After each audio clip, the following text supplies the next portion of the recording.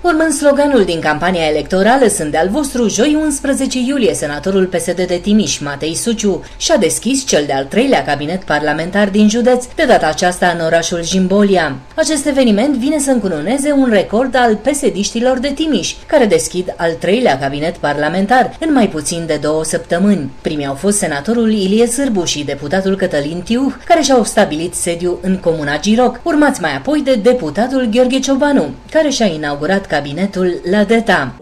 În principiu, cred eu că până la, așa cum am spus, până la jumătatea lunii septembrie, vor fi deschise toate cabinetele parlamentare în tot teritoriul județului. Așa cum am afirmat, Jimbolia este cel mai mare datornic astăzi, cu cele mai mari arierate din județul Timiș.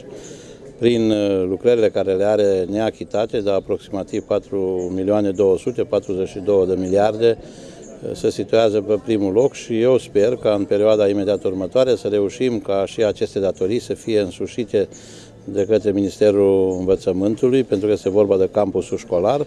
Alături de socialdemocrați, la eveniment a fost prezent și Titu Bojin, președintele Consiliului Județean Timiș, care a declarat că speră ca prin prezența și ajutorul parlamentarului în zonă se va reuși rezolvarea problemei datoriilor orașului. În prezent, Jimbolia este orașul din județ aflat pe ultimul loc în ceea ce privește datoriile către bugetul local. În încheierea discursului, Bojin a ținut să traseze și linia pe care trebuie să urmeze social social-democrații în vederea îndeplinirii sarcinilor de partid. Este vorba de câștigarea alegerilor și recunoașterea valorii personale. Cabinetul senatorului PSD de Timiș, Matei Suciu, va avea un angajat care va prelua problemele oamenilor din zonă și le va transmite apoi spre rezolvare parlamentarului. Odată la două sau trei săptămâni, audiențele vor fi susținute chiar de Matei Suciu. Matei Suciu urmează să inaugureze luna viitoare un alt cabinet parlamentar în orașul Sânt Nicolaul Mare.